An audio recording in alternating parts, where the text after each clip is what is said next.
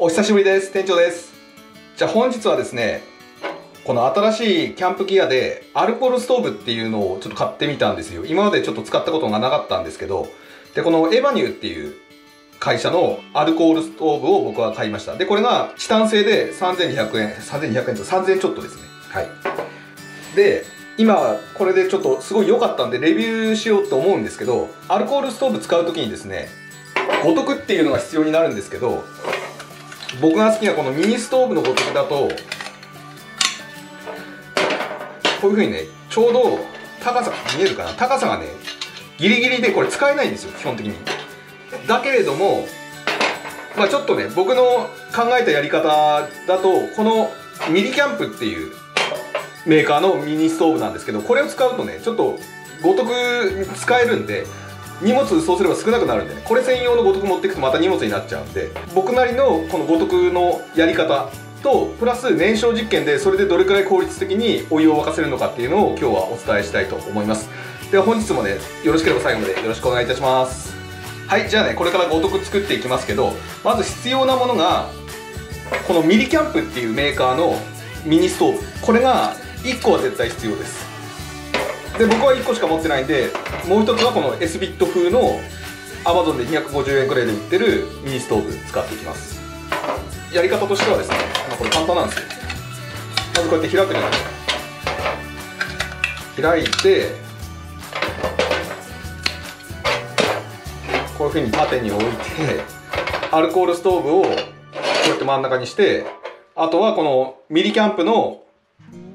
ミニストーブについてるやつをこの上に乗っけるだけ。これで完成です。まあ時間的に本当に5秒くらいでできるんで。で一応ですね僕は今下にこういうのを使ってますけどこれはそのストーブ買った時についてきたアルコール皿っていうか受け皿なんです。これはあってもなくてもいいですけどあった方がこういうふうに置いてこういうふうにやった時にすぐまあ中央に来るんで大体。あった方がいいんですけど、まあ、なければないでも大丈夫です。こうやってやってもできるんで大丈夫です。こういう感じ。これで終わり。で要はこれここういうふうには弱いけどこっちにはある程度強いんで結構ねでこのごとこれこれを乗っけることによってバランスが結構取れるんですよ。それでしかもこれを乗っけなくてもここに乗っけることできるんですけど燃焼効率としてはこれを乗っけた方がお湯が沸くの早いんでそれちょっと今これから実験しますから。はい。じゃあちょっとお待ちください。はいじゃあですねまず水を使います。で使うのはこのまずラージメスティン。ミリキャンプのラージメスティンっていうのを使います。でこれはミリキャンプのラージメスティンはねこのメモリがついてるんで測りやすいんでまあこれで使います。このミリキャンプのラージメスティンですけど僕がこれ買った時にこれ買うとねミリキャンプのこのミニストーブついてくるんですよ。だからまあタダでもらえるんでこれお得だと思います。でこれ自体もメモリもついてるし使いやすいんでまあこれ動画の概要欄に載っけときます。まず水を 200ml 入れていきます。でこれで 200ml100 かこれ。200だよね。これでもう200なんで。はいじゃあねアルコール入れていきますけど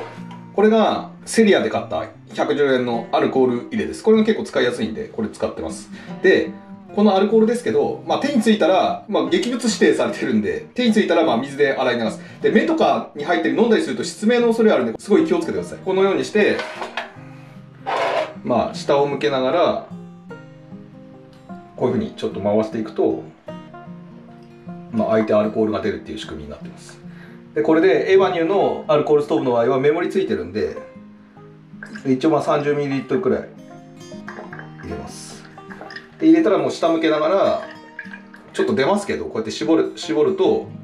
手につかずに安全に入れることができます。これをセットして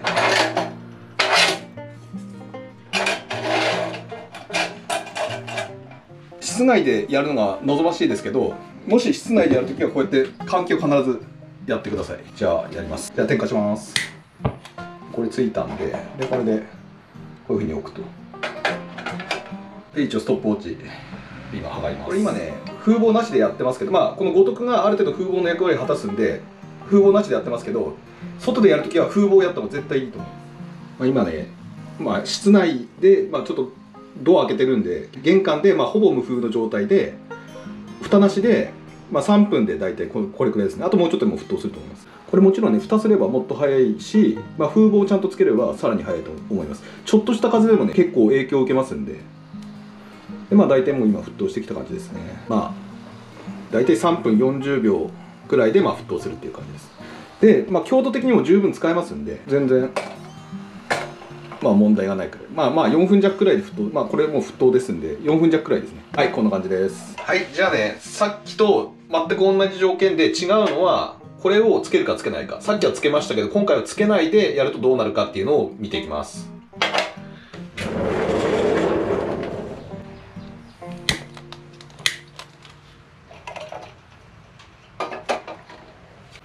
はいじゃあこれでねスタートします。はい。今ね3分経過でこういう感じですね。